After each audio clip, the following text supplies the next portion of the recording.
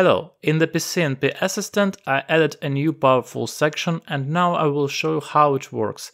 This is All Services tab. Here you can disable and even block services that you do not need and there can actually be dozens and even more than a hundred. After all, Windows provides them for all cases of using a computer.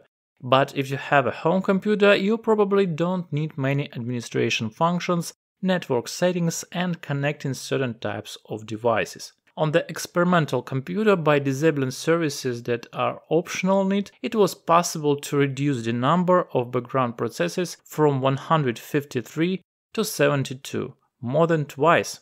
Of course, it will be easier for the processor and this will positively affect the performance of the computer.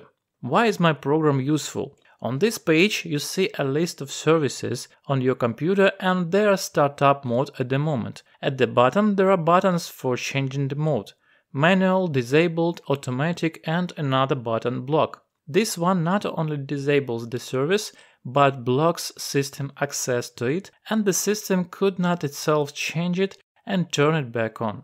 But the most important thing is the description of each service. That's what is valuable a hint whether it is good to delete the service or not. And the collection of this database took much more time than the programming of this page. There are about 300 services in this database.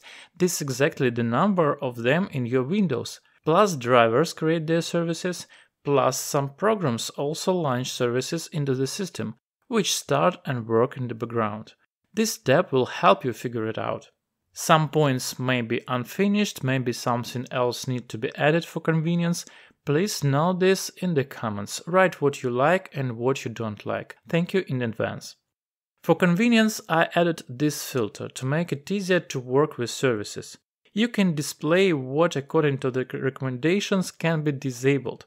But pay attention, it doesn't mean you need it in your case. This means under certain conditions. Therefore, read carefully description of each service that you are thinking to disable. Some affect a variety of areas, and before starting, just in case, make a restore point. It can be accessed in the top menu. Separately, you can display the drivers and disable those that you can see that you are no longer need. Maybe in the names you will see manufacturer that you do not have. Spy services send your data to Microsoft and constantly monitor certain activities. The Microsoft makes its spies more and more tied to important functions. And if you just turn off telemetry, these are not so easy. These services hold several Windows functions and besides this, a pop-up window when you click on the clock or the network icon in Windows 11, its panel where Wi-Fi, Bluetooth, flight mode, etc. are turned on. If the service is disabled, it will not appear. Services associated with the store can be disabled if you do not need application from the Microsoft Store, but here also be careful, there are a couple on which Bluetooth and the same pop-up function control panel depend. So this should not be disabled.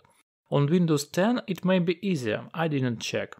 And separately the services connected with an antivirus some simply turn off, but some will not just have to be turned off, but block in safe mode.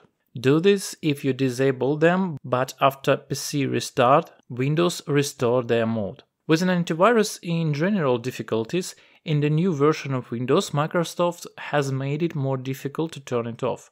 Now you need to block a number of services and access to them by the system in safe mode. I noticed this while recording this video, so I will try to improve the antivirus shutdown for the next version of the program. But now see this video to know how to disable antivirus and how to enter in the safe mode. Friends, try the program and soon watch the video how with the help of the PCNP Assistant accelerate weak computer. Subscribe to not miss it. A comparison test with Windows 8 on a modern weak PC is also in the plan. And finally, as usual, I will show the program code so that you can see how everything is inside. When a tab with services appears, the Windows registry branch is scanned. Here it is, local machine, system, current control set, services. A list of services is compiled. After that, the startup mode is checked, the start parameter, as well as the display name, here either the name or the path to the service file. If start is 1, it's auto start with delay, 2 is automatic, and 3 is manual, and 4 is disabled. The next function, clicking to select a row in the table. Here the servdesk file is scanned, which contains a database with information about all services, and all this is displayed in text fields. Then comes the filter processing procedure, the combo box element is responsible for it.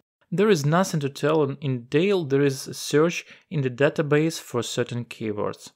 And when you press the buttons, the start parameter changes in the selected service. Only the black button is different, here before changing the start, a command is launched that changes the owner of the registry key and takes away the rights from the system, transfer them to the administrator, that is to you. That's how it works, everything can be done manually, but you can't keep a description of each service in your head, because there are hundreds of them. I'm waiting for likes and comments for this database and program. And if you share a video of program with your friends, it will benefit both them and me. Thank you for watching, see you on the air!